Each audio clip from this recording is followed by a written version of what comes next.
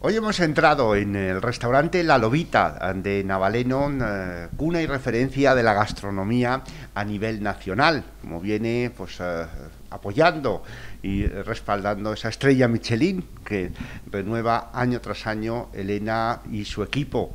La verdad que estamos en un lugar, en un comedor, en un sitio donde se combina perfectamente lo que es la innovación en la cocina con ese mantenimiento de los eh, sabores de antaño, ¿no? Esos sabores que teníamos de nuestros antepasados, los sabores de la abuela, ¿no? Como les, nos gusta eh, llamarles también y que aquí se le da un toque especial con una experimentación continua en la cocina, que eso es lo que nos agrada a los comensales. Elena Lucas, ¿qué tal? ¿Cómo estamos? Hola, muy buenas. Bien. En primer lugar, muy agradecidos que nos hayas permitido el, entrar en tu casa ¿no? y poder eh, realizar desde aquí esta, esta pequeña entrevista. Nada, el placer es mío de, recibiros aquí en casa, que es vuestra casa también. Estamos, Elena, ya en plena temporada micológica y claro, la micología y gastronomía están muy ligadas a punto de empezar ese programa de Busca Setas, pero ya vosotros el menú eh, micológico ya lo venís mm, distribuyendo, dando a degustar desde, desde la fiesta del Pilar. ¿no? Sí, lo que es el menú completo de, setas empezamos ya en, el Puente del Pilar, como has dicho. Y esta casa va unida a micología y gastronomía, gastronomía y micología, ¿no? Es, van unidos, no podemos separar, ¿no? Y bueno, pues la campaña está siendo muy interesante porque hay muy buenas especies, variedad, cantidad, calidad, que es lo que más nos importa también, y veremos cómo se va desarrollando hasta finales de año. ¿Cómo estáis innovando este año? ¿Qué, qué, estáis presentando un poco a los a la gente que se acerca hasta la lobita? Pues eh, este año lo que me propuse es dar valor a aquellas setas que salen en nuestros pinares, en nuestros montes, pero que no, no se utilizan muy habitualmente, ¿no? Tal vez porque no tienen un valor gastronómico, tal vez por cultura, por sabor, eh, que no se deciden imponer en los platos, ¿no? Entonces estamos utilizando la lengua de vaca, la macrolepiota procera, o sea, setas que se ven pero que no se consumen, ¿no? O por lo menos aquí no se recolectan para, para su propia venta y su, y su comercialización. Entonces, es enseñar a la gente que, se puede comer esa lengua de vaca y decir, oye, pues mira, esto me parece interesante, o, o, no te gusta, perfecto, pero por lo menos ponerla, ponerla en la mesa, ¿no? Y que la gente la pueda llegar a conocer. Sin duda, porque aquí tenemos una variedad de setas impresionante y consumimos muy pocas habitualmente en nuestras casas o cuando nos juntamos con los amigos.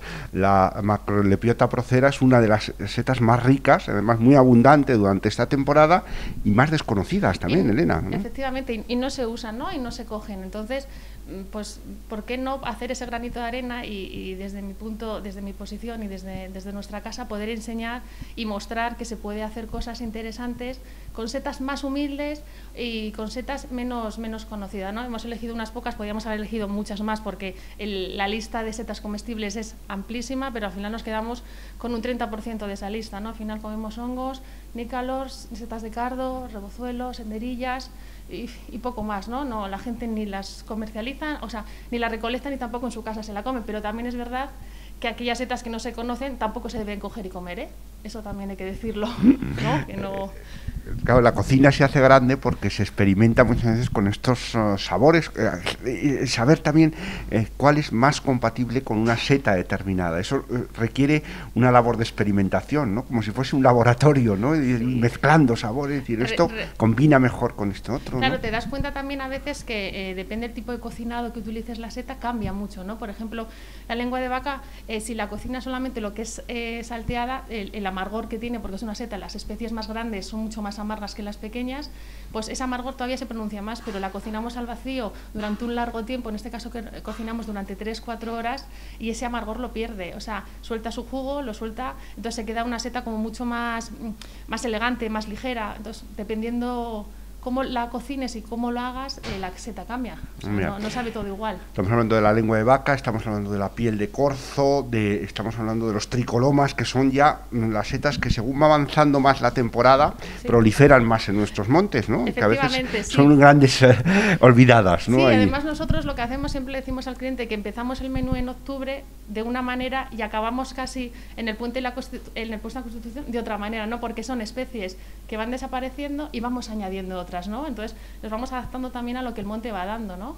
Mm, sin duda, un menú recomendable para los que quieran pasar estos días por, por la Lobita y disfrutar de sus jornadas uh, micológicas en la gastronomía, eh, en el marco de ese Buscasetas también que desde el 31 de octubre y hasta el 14 de noviembre se va a desarrollar en distintos restaurantes eh, de Castilla y León.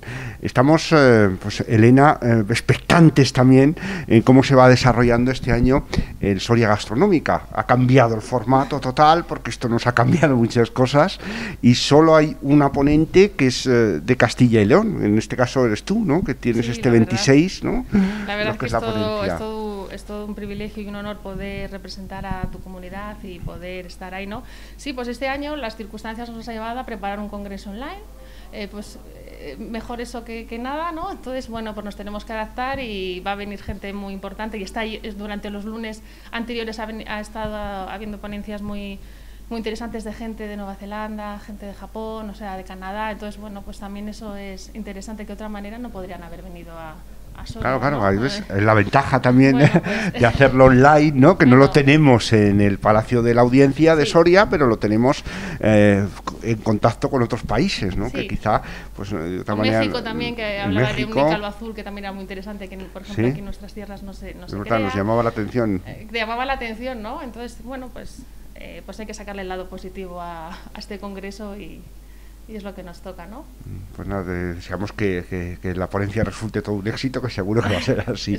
Que sí, que a la gente le parezca interesante y le, y les- y le guste, vamos. Decíamos que está influyendo lo que es la pandemia en, eh, el desarrollo de su gastronómica, pero en vuestro restaurante, en vuestro sitio y a la hostelería en general, ¿cómo veis que está, que está influyendo esto?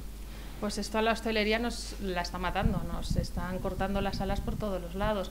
Aún así, siendo todos restaurantes seguros, restaurantes de compañeros que se toman todas las medidas de seguridad, con todos los protocolos, con todo lo establecido, siguen pensando que nuestras casas no son seguras y, y toman medidas que pues que nos están perjudicando a todos. O sea, la hostelería no está en un mejor momento ni, ni por asomo, ¿no? Y bueno, pues nos tenemos que adaptar a lo que nos toca vivir y de la mejor manera, si es que podemos, claro.